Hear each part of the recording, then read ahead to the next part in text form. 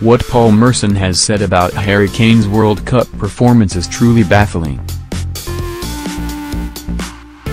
Paul Merson's clueless analysis has reared its ugly head. The Sky Sports pundit has weighed in on England's opening World Cup game against Tunisia by offering his thoughts on two-goal hero Harry Kane.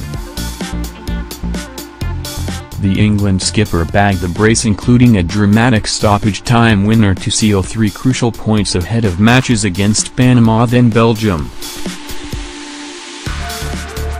His header in the 91st minute sent England into a state of euphoria with everyone inside the ground going ballistic, not to mention everyone celebrating back home in absolute brilliant scenes.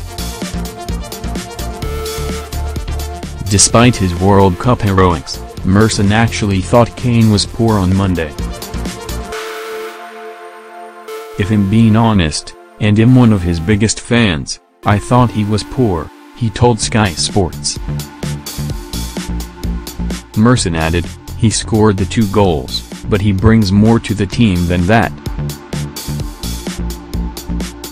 As not a Gary Lineker, who would touch the ball twice and score two goals and that's what he brought to the team.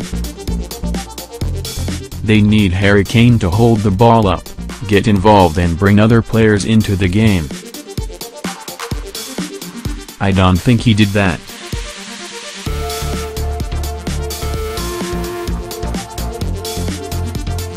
That's being a little bit too critical and am thinking ahead to the knockout stages.